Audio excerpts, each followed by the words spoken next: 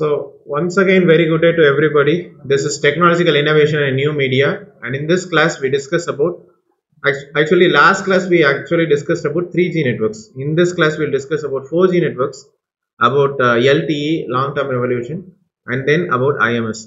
So this is especially for you, my dear students and young researchers. And you can reach me at dr.christoananth at the rate of gmail.com.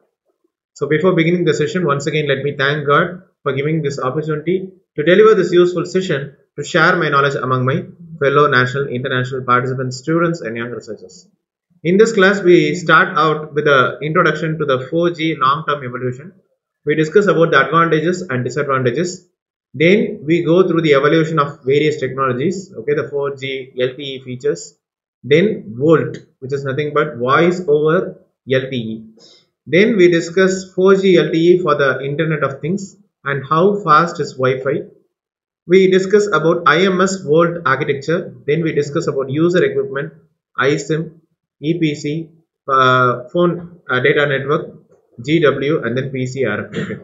Then we discuss about call session control function, CSCF.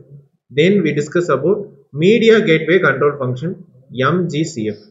So I had already given the independent work for you. Please complete them at your best available time. I will be checking them. And at regular intervals, I will be giving you some short videos to discuss the knowledge in our topics. So this is a short introduction. Actually, like uh, in 2020, when this brought into okay, like uh, LTE was very famous, and uh, because just because that 4G smartphones were using this one, so everybody were into LTE. Actually, when you compare 3GPP, uh, third generation partnership project with the fourth uh, generation or uh, maybe um, you know the RNC radio network controller we had several features but still 4G LTE was much more popular. Okay. So definitely it is, it is having high speed data network even. We were actually providing fast wireless networks for the smartphones as well as mobile devices. Right.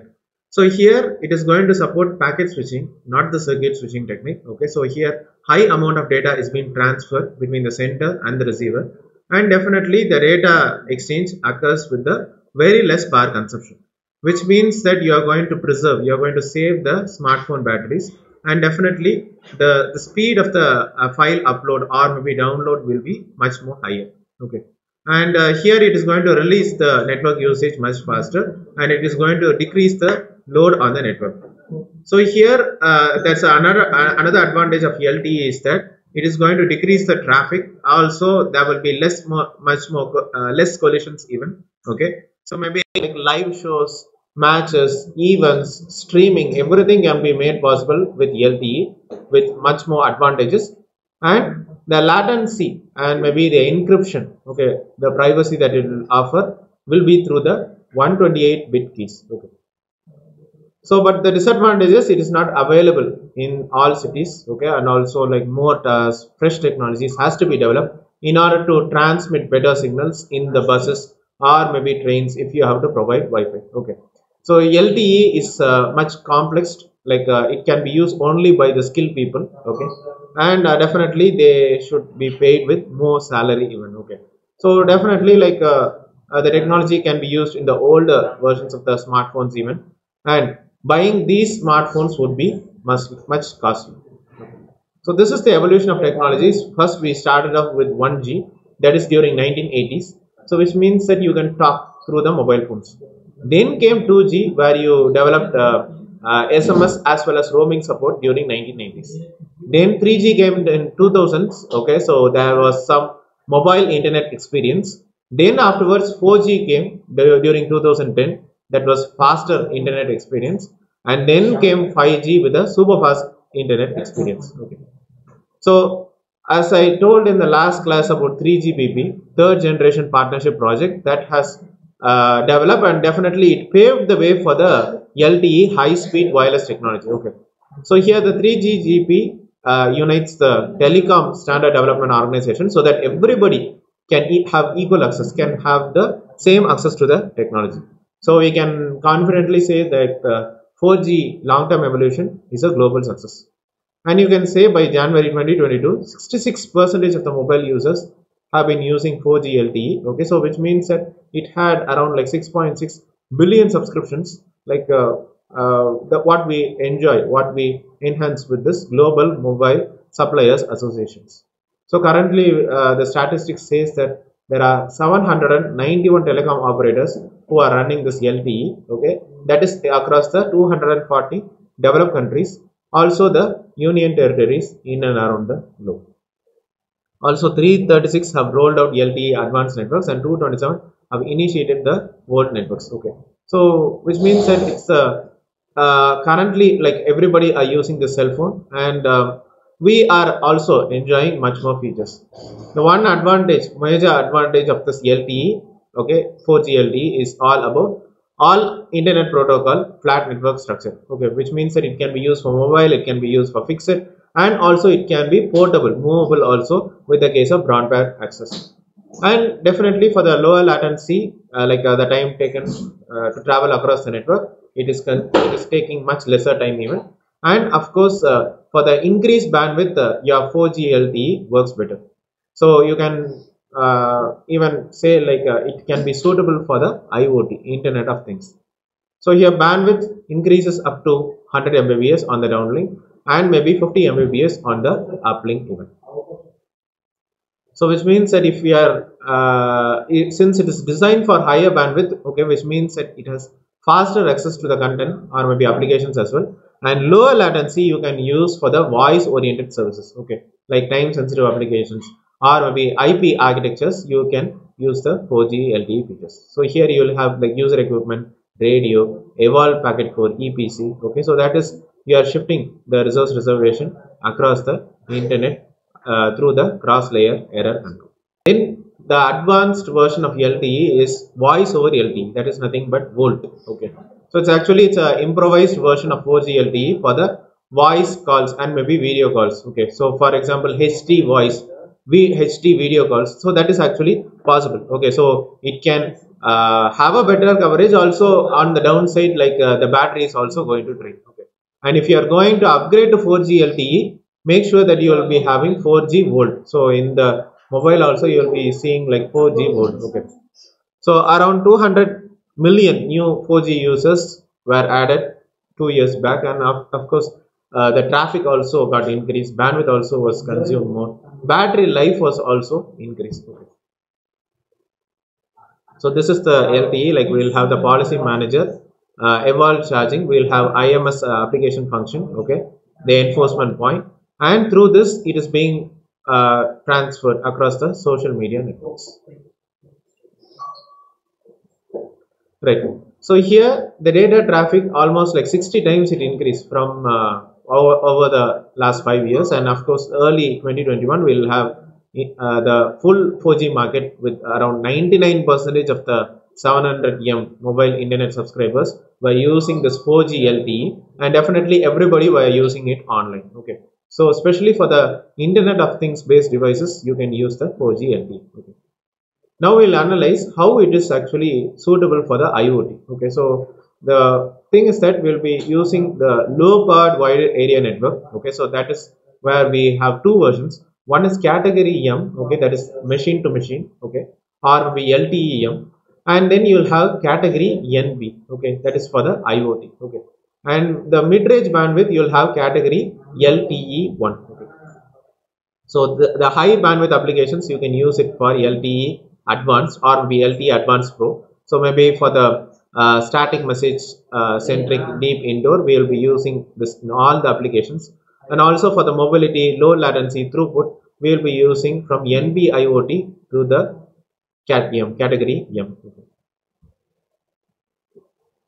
So you can say that it is backward compatible as, uh, also and definitely it will offer much more flexibility even. Okay so maybe with a GSM CDMA1 wideband CDMA, uh, Universal Mobile Telecommunication System or CDMA 2000 also, it is uh, much useful and of course it is backward compatible also.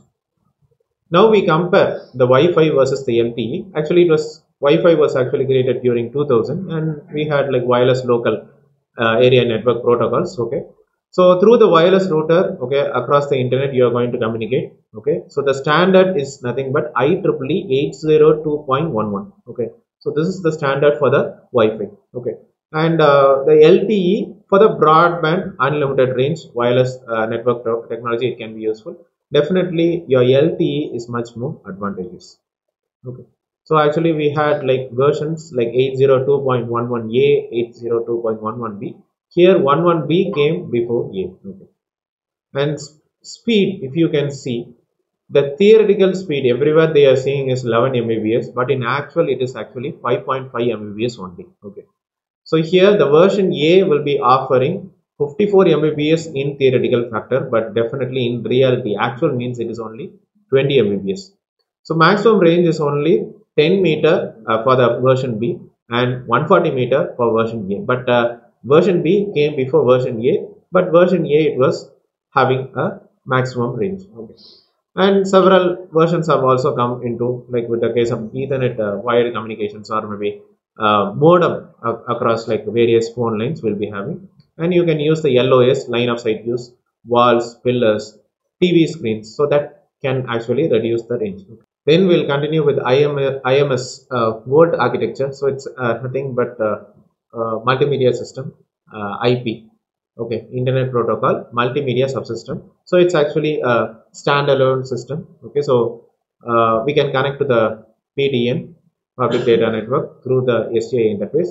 And we'll having evolved packet core will be having like three functional elements. Like we'll have MME which is mobile management entity. Okay mobile or maybe mobility management entity. Okay so it is the it is act, acting as a central control point. Okay in the uh, evolve evolve packet core and for the control plane uh, functions you will be using this one. And similar to MME we'll be having SGW serving gateway. Okay. So every packets okay in the uplink as well as downlink will be flowing across this serving gateway. And serving gateway maybe for handling the transfers or maybe handovers you will be use, using this one. And the third one is nothing but uh, public data network gateway. Okay so that it will be allocating the addresses to the user equipment and it will be acting as an interface between the internet and the uh, IMS okay uh, media internet I mean I, IP media subsystem okay. So this is the LTE core network okay so we'll have this function across the VoLTE IMS complementary so this is the architecture diagram. We'll have the user equipment you'll have E node B okay? So across the evolve packet core we'll be having the 3G partnership project across the server. And from the server okay we'll be going on to the public data network gateway to the internet right? So then you'll have uh, like user equipment. Of course it's a mobile terminal that uh, you can authorize it to use in the LTE network. So it can user equipment as I told in the last class it can be a smartphone or maybe tab or maybe communication device okay so here it will be having two components. One is UICC, Universal Integrated Circuit Card, and then SIP UA, Session Initiation Protocol User Agent. Okay. The UICC, Universal Integrated Circuit Card, okay, will be uh, nothing but uh, will have like SIM, okay, subscriber identity module that is actually used by the GSM network. And then you have USIM, uh, as I told in the last class, UMTS subscriber identity module. So that for the case of uh, UMTS or maybe LTE, it can be useful. And then CDMA SIM. Okay, so that is CDMA Code Division Multiple Access Subscriber Identity Module or maybe reusable identification module. Okay, so specifying the identity information. And then we'll have ISIM IP Multimedia Services Identity Module. Okay, so for the IMSI identity information that we will be using and then you will have ISIM okay like uh, uh, IMPI okay IP multimedia private identity. So that is actually uh, a global identity that is being allocated by this home network. And for maintaining the domain information home operators domain information it will be useful. And then you will have IP multimedia public identity like the private identity you will have public identity. So it will be having like telephone number and it will be a session initiation protocol universal uh, resource identifier or maybe a tel telephone URI okay. So here here you will be having RFC standard 39664 and you will be also having a secret key that is associated for the user authentication and for the session initiation protocol registration. And then you'll have SIP user agent. So here it will be used in the user equipment to send as well as receive the SIP messages and for for providing the basic telephonic uh, functionality it will be much useful as well. Here we have two roles. One uh, user agent client which is a client to send the SIP request. And then user agent server okay it is going to receive the respect uh, I mean receive the request and then it will be sending a response okay. So here you will have internet the switch okay uh, across the firewall okay to the asterisk to the client A client B and client C. So client A B C are going to send the SIP request and then in response the server is going to uh, respond to the request and send the response. And then you'll have EPC evolve packet core okay so maybe for the VoLTE or maybe IMS you'll be using this one. Here you'll be having PDN public data network gateway. Okay so that is going to allocate the IP addresses to the user equipment so it's a point of communication between the evolved UTRA or maybe evolved universal terrestrial radio access and maybe the non 3G partnership project okay like the internet. So maybe when the uh, IP multimedia subsystem is actually available there can be more than public uh, data network gateway in the evolved packet core. One especially for the internet and one for the uh, you know ims okay.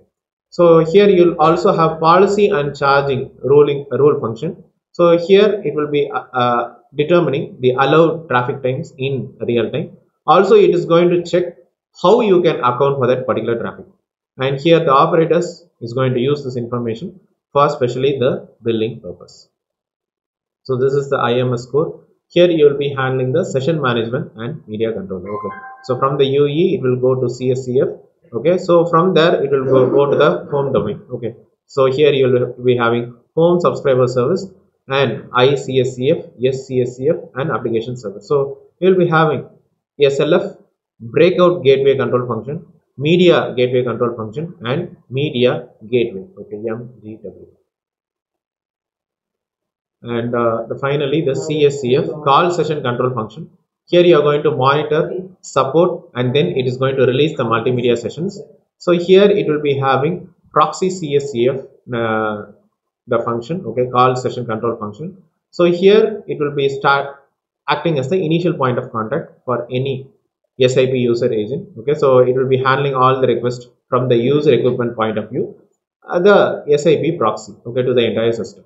And then you will have serving CSCF okay. So which means that it is having knowledge about the user and what applications are actually available to the user.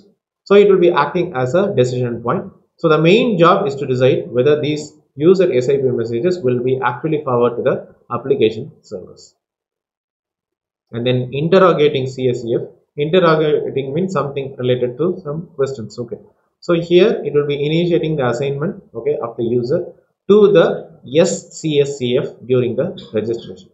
And then you have HSS, that is actually the first part. So it's a database where you will be having user profiles and maybe the location information also. Here it will be handling the name as well as the address resolution. Okay, so uh, for the authentication, privacy, or maybe authorization also, you'll be using HSS. Okay and SLF subscriber location function. Okay, so here SLF is going to assign HSS to a user in the home network and in order to achieve this uh, function the SLF will be keeping track of all the home subscriber server and uh, media gateway control function here you are going to control the media gateway and you are going to convert the codec okay so here it will be uh, serving as a breakout to the circuit switch network and whenever the breakout occurs means it will be responsible for managing the conversion of the signaling messages and also for converting the SIP messages to the bearer independent call control. Okay. Also for ISDN user port protocols used in the legacy systems. So here you will be having IPPSTN gateway, you will be having the signaling, signaling gateway, media gateway controller and the media gateway across the uh, RTP.